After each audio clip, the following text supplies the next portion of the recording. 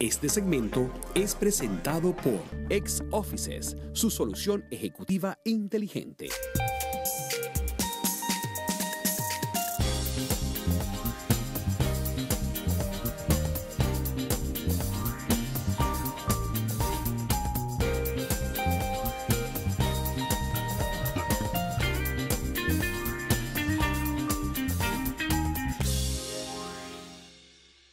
Bienvenidos amigos a Agenda Global una vez más. Es un placer estar con ustedes.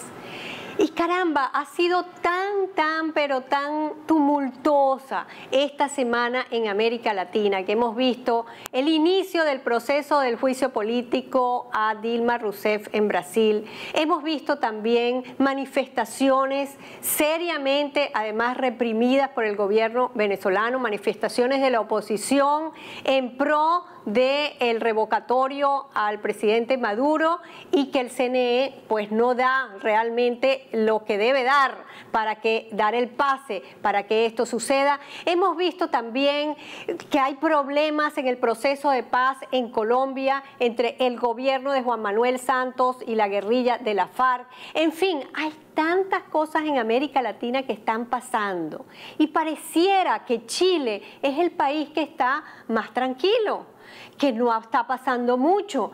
Realmente Chile tiene la eh, digamos, la trayectoria o más bien la fama, no lo sabemos, que es un país no solamente tranquilo, sino que económicamente está muy bien. Pero ¿es eso cierto? Nos preguntamos. Casi nadie habla de Chile últimamente. Solamente vimos a la presidenta Michelle Bachelet apoyando, moderadamente, pero apoyando a su amiga Dilma Rousseff de Brasil.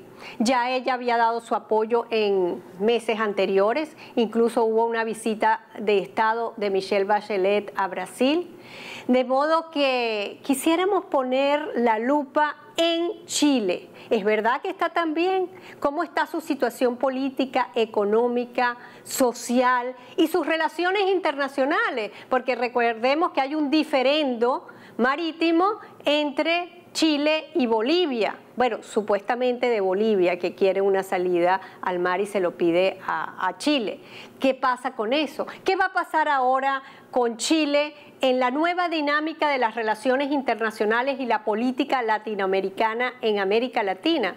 La señora Bachelet se va a quedar rezagada, no va a decir nada, o va a estar defendiendo a la izquierda latinoamericana que está muy golpeada en la región, que está debilitada y que con el juicio de Dilma Rousseff va a estar debilitada aún más porque va a tener impacto este inicio de un nuevo gobierno, aunque sea provisional por 180 días, me refiero al gobierno de eh, Michel Temer en, Brasil, va a tener impacto en toda la región y por supuesto en Chile, en el Mercosur en UNASUR y por supuesto en todo lo que es la Organización de Estados Americanos, la OEA, Pongámoslo, como les decía, la lupa en Chile. Y para eso tenemos un analista chileno, un amigo muy especial de la casa, de esta casa, del venezolano Tegué.